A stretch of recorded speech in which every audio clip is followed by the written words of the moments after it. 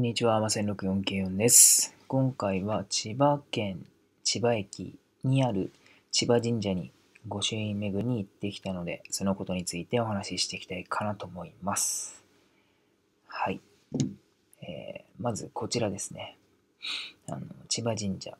の、ま、正面になります。猫が横切る瞬間だったんで、撮ってみました。あの結構人懐っこい猫だと思いますね。近づいても全く逃げる気配がありませんでした。そして中に入ると、まあ、こちら、えーお清めの水ですね。まあ、いつも通りに清めていたら、あの右の方の、えー縦札、縦札って言えばいいのかな？に、あの、飲んじゃダメよっていうのを書いてあったんですけど、すいません、飲みました。そして、えー左の方に、えー橋がかかっていて、まあ、そちらに鯉がいたんですけど、あの近づいてみたら、めちゃくちゃ、あの全員寄ってきたっていう、餌やりの人が来たのかなと思われたのか、まあ、それとも、すげえ、あ、なんか、なんか、面白いやつ来たと思われて、寄ってきたのかがわかんないんですけど、あの、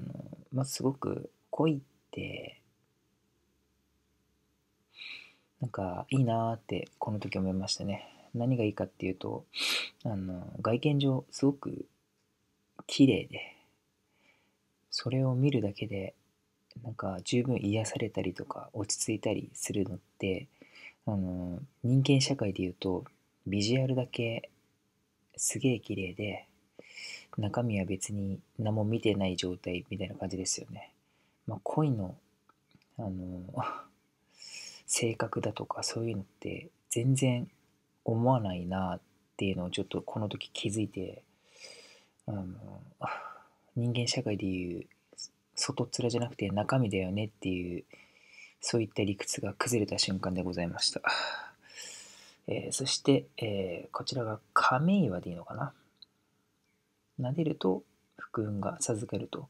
いうことで、まあ、撫でてきたんですけどそしてあの影に私が映っているというお話でございますそしてこちらは千葉天神の、えー正面になりますね学業とボケ防止とかそういったものがあるらしいです。でその隣に、えーなんだっけな、読み方がわかんないんですけど、えーなんだっけな、忘れちゃったな。触れたら、まあ、いいことがあるんですね。完全にあの忘れてしまいました。こちらが、えー千葉神社の正面になります。すごくあの赤で鮮やかで、まあ、すごくあのいいとこだなという感じはしましたね。なんか、なんでしょうね、街中にあるんだけど、この入った瞬間に、あの少し少し、まあ、やっぱり神社は神社なんであの落ち着くというかすごく楽な気持ちになりました。うんなんだろうね。やっぱりそういったのがあるのかなとか思いつつ、うん、なんかそんな感じになっていました。そしてこちらが千葉神社の御朱印になります。えーまあ、今現在書き置きのみということで、まあ、こちらいただいておりました。まあ、書き置きだけなのかな？千葉に来て、まあ、他の御朱印ももらったりしたんですけど、書き置きのみだったんで、あ、まだ、まあ、都内方面だから書き置きのみになってるのかなと思いつつ、いただいてきました。そして、みこさんが、あの、すごく、あの、丁寧な方で、まあ、それも印象深かったです。はい。ということで、今回は全国御朱印巡りの旅の千葉県千葉駅にある千葉神社に御朱印巡りに行ってきたことについてお話ししてきました。それでは。